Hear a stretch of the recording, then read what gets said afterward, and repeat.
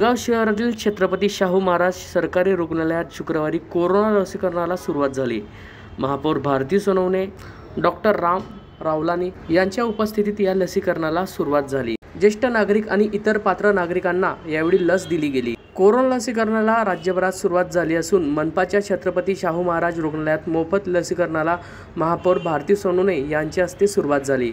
साठ वर्ष वयोगटावरील आणि पंचेचाळीस ते साठ गटातील गंभीर असलेल्या रुग्णाला यावेळी लसीकरण केले गेले. नोंदणी केल्यानंतर नागरिकांनंतर दुसरा डोस असलेल्या लाभार्थ्यांना प्राधान्य दिले जाणार आहे.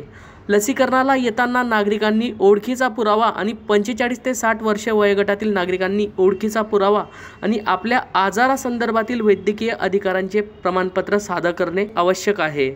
छत्रपती शाहू महाराज कोविड लसीकरण केंद्रात सुसज्ज प्रतीक्षा व्यवस्था नोंदणी केंद्रे लसीकरण कक्ष निरीक्षक कक्ष तयार करण्यात आले होते. लसीकरणानंतर नागरिकांना कोणताही त्रास झाल्यास तात्काळ उपचारासाठी बेडची व्यवस्था देखील करण्यात आली होती. सकाळी नऊ ते दुपारी पाच वाजेपर्यंत लसीकरण केले गेले.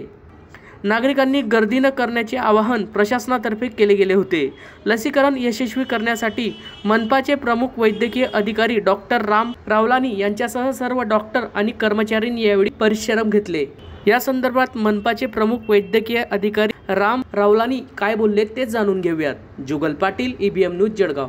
आजपासून ज्येष्ठ नागरिकांसाठी लसीकरणाला सुरुवात झालेली आहे. नेमकं कसं नियोजन या संदर्भातलं? नमस्कार मी doctor Ram Rawlani chief medical officer महानगरपालिका जळगाव. आजपासून आपण छत्रपती शाहू महाराज दवाखान्यामध्ये महानगरपालिकेतर्फे मोफत कोविड वॅक्सिनेशन सुरू केलेलं आहे ज्येष्ठ नागरिकांसाठी. याच्यामध्ये साठ वर्षावरील जे एक जानेवारी दोन हजार बावीसला साठ वर्षापेक्षा अधिक वयाचे असतील त्यांच्यासाठी लसीकरण आहे. आणि पंचेचाळीस ते साठ वर्ष वयोगटातील जे लोक आहेत त्यांना कोमॉर्बिड म्हणजे इतर आजार आहेत त्या आजाराची वीस प्रकारची यादी आपल्याकडे उपलब्ध आहे. त्याच्यापैकी जे काही आजार असतील त्यांना पण आपण इथे मोफत लसीकरण कोविडचं करणार आहोत. त्याचे दोन डोसेस असतात. एक डोस आता जरी घेतलं तर अठ्ठावीस दिवसानंतर दुसरा डोस असतो. त्याच्यासाठी आपण छत्रपती शाहू महाराज दवाखान्यामध्ये मागच्या बाजूला जिथे प्रमुख वैद्यकीय अधिकारी यांचं कार्यालय आहे तिथे नियोजन केलेलं आहे. तर त्याच्यामध्ये जसं एक वेटिंग रूम आहे आणि नंतर वॅक्सिनेशन रूम आहे. नंतर वॅक्सिनेशन केल्यानंतर लस दिल्यानंतर कमीत कमी अर्धा तास त्यांना ऑब्झर्वेशन रूममध्ये बसावं लागतं. जेणेकरून तसं काही प्रॉब्लेम होत नाही तरीसुद्धा आम्ही काळजीसाठी त्यांना अर्धा तास बसा बसायला लावतो.